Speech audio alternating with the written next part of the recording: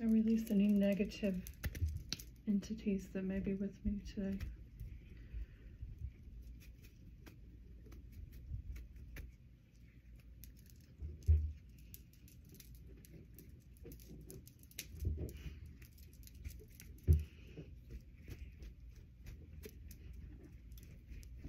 I'm also cleansing my crystals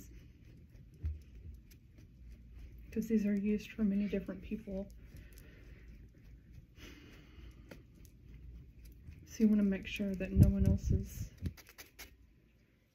negativity or attachments may still be attached to them. You can do this with moon water, which I also have. Um, but today I'm using dragon's blood and Palo Santo.